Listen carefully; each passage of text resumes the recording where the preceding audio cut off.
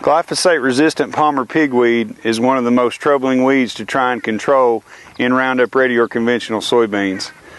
The particular field that we're standing in here was determined the previous year to be fully infested with glyphosate resistant pigweed. This year, the Cooperative Extension Service came in and we recommended a residual program of Valor applied early in a burn down, followed by Authority MTZ pre emerge, followed by FlexStar GT early post.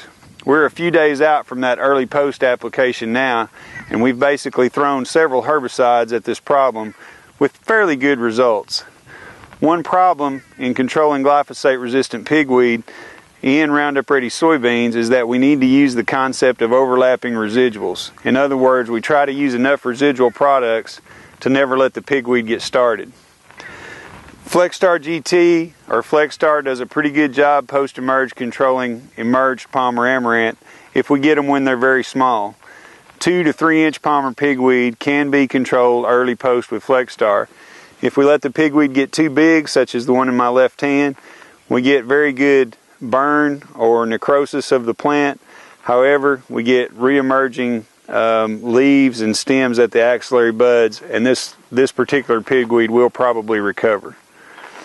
It's very important to start early with the residual and stay on top of your early post program um, and spray pigweeds when they're very small in Roundup Ready soybeans. Your Arkansas Soybean Podcast is a production of the University of Arkansas Division of Agriculture and was funded in part by the Arkansas Soybean Promotion Board.